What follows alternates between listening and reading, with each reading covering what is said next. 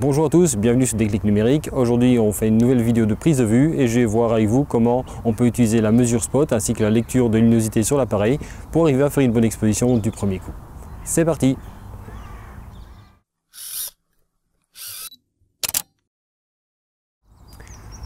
Alors avant de voir la méthode qui est relativement simple, je voudrais juste revenir sur deux points. Le premier c'est la mesure spot. Qu'est-ce que la mesure spot? C'est simplement une des manières que votre appareil peut utiliser pour mesurer la luminosité d'un endroit. Sur les appareils photo modernes, il y a généralement euh, trois types de mesures, voire quatre selon les modèles. Le premier qui est généralement la mesure évaluative ou la mesure matrice qui va prendre en fait la luminosité globale euh, du capteur et qui va essayer de trouver une moyenne.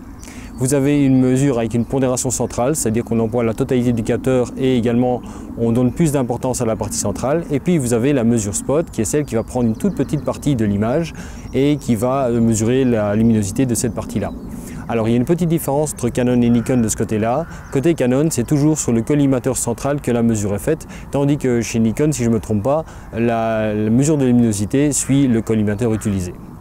Donc le but ici, c'est de prendre la luminosité sur un endroit précis de la photo et donc on va utiliser la mesure spot. L'autre élément dont on a besoin pour notre prise de vue, c'est la mesure de luminosité. Vous savez, cette petite barre euh, qui s'affiche soit dans l'œilleton, soit à l'arrière de votre appareil, avec une mesure qui va généralement de moins 2, moins 3 jusqu'à plus de plus 3, avec une graduation qui va vous permettre d'estimer la luminosité.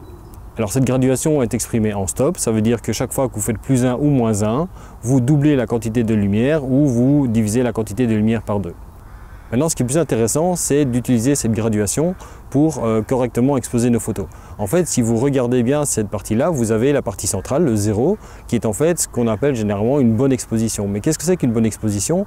Pour un appareil photo, ça revient à avoir des tons moyens, c'est-à-dire quelque chose, si on prend une échelle du noir au blanc, quelque chose qui est un gris moyen. Euh, du coup, si vous utilisez ça pour euh, prendre euh, votre repère, vous pouvez dans certains cas de toute façon obtenir une photo qui est soit sous-exposée, soit surexposée, parce que tout va dépendre de la couleur réelle de votre objet à la base. Pour être un tout petit peu plus détaillé au niveau de la lecture sur cette barre-là, quand vous avez la partie centrale, c'est-à-dire la partie qui va de moins 1 à plus 1, c'est généralement ce que l'on va considérer comme étant des tons moyens. Ça veut dire que moins 1, c'est des tons moyens relativement sombres, plus 1, c'est des tons moyens relativement clairs. Quand vous allez plus bas, quand vous allez au-delà de moins 1, entre moins 1 et moins 2 par exemple, voire un petit peu plus, on est dans ce qu'on appelle des ombres. Et quand vous allez au-delà de moins 2, moins 3, à ce moment-là, vous êtes carrément dans des ombres très foncées, voire carrément du noir. De l'autre côté, quand on va entre plus 1 et plus 2, on est dans les hautes lumières, donc des éléments très clairs dans votre photo. Et quand on va au-delà de ça, on va généralement avoir des très hautes lumières, voire même du blanc. Et donc finalement, si on combine ça avec la mesure spot, on va pouvoir définir comment prendre directement la bonne mesure de lumière. Appliquons ça maintenant à la pratique et je me suis volontairement mis dehors pour être dans des conditions lumineuses très difficiles puisque comme vous le voyez, j'ai le soleil qui tape directement sur moi ici, euh, ce qui provoque énormément de contraste dans la scène et donc j'ai un ciel qui est très clair, j'ai vite des ombres au sol et je vais pouvoir vous montrer comme ça euh, comment exposer correctement la photo. Donc pour commencer, je vais commencer par prendre une photo de ce que j'ai devant moi et vous montrer le résultat en mettant simplement la mesure euh, matricielle standard, c'est-à-dire la mesure de base qui prend la lumière sur tout le capteur. Donc je vais à ce moment-là prendre la photo, je vais faire la mise au point sur un élément du décor, je prends la photo et vous obtenez un résultat. Alors vous voyez que l'exposition n'est pas mauvaise en soi.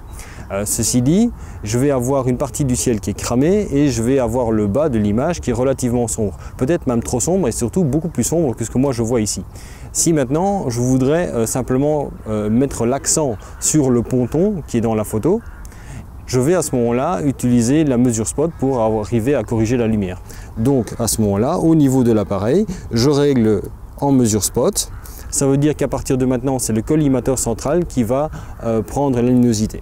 Et là, vous avez deux cas de figure qui se présentent. Soit vous shootez en manuel, auquel cas c'est relativement simple. Il vous suffit de faire le réglage de luminosité et à ce moment-là, recomposer et prendre votre photo. Ou alors vous êtes en semi-automatique, comme en priorité vitesse ou en priorité ouverture, auquel cas vous devez employer la touche euh, de mémorisation d'exposition.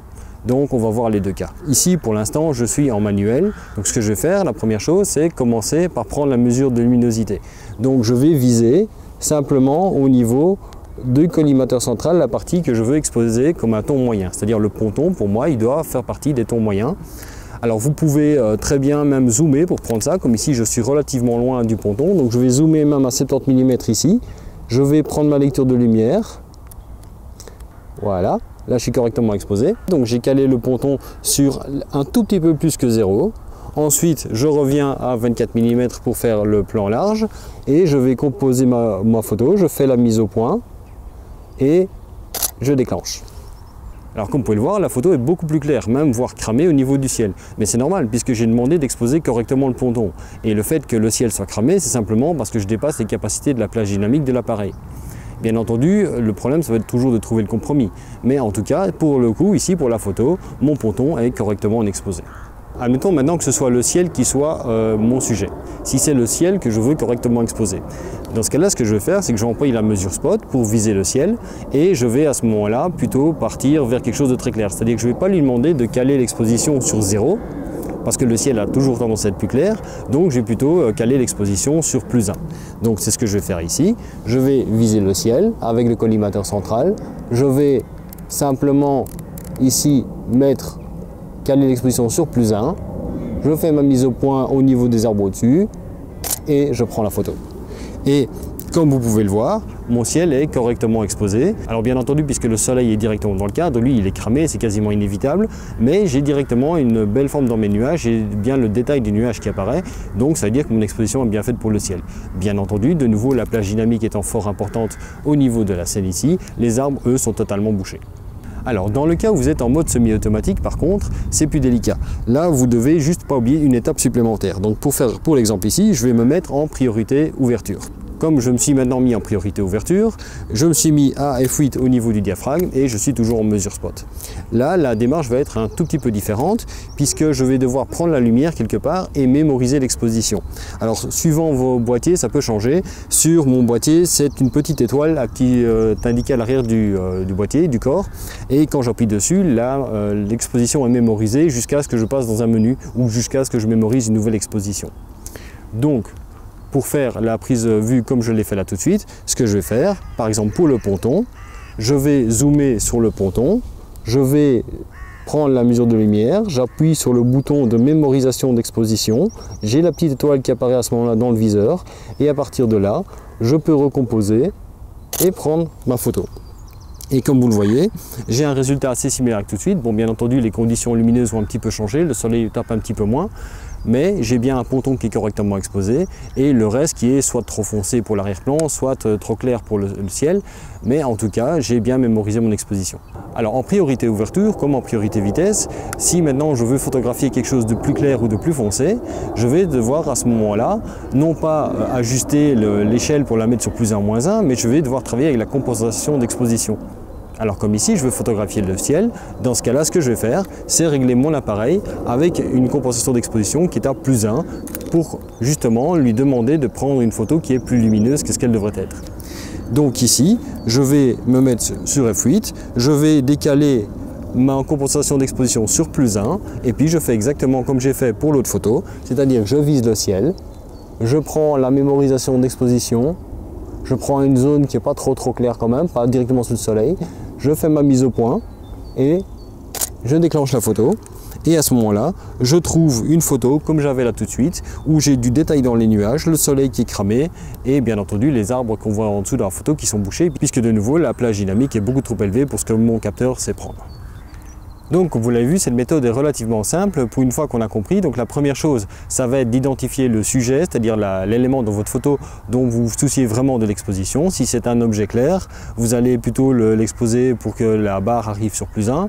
Si c'est un objet type ton moyen, euh, par exemple comme le visage de quelqu'un, vous allez plutôt le mettre sur 0 ou légèrement plus. Si c'est un objet foncé, vous allez plutôt le caler sur moins 1. Donc une fois que vous avez fait ça, c'est pas compliqué. Vous passez en mesure spot. Si vous êtes en manuel, vous réglez l'exposition pour, pour avoir la barre qui apparaît bon endroit et vous cadrez, vous faites votre mise au point, vous faites votre photo.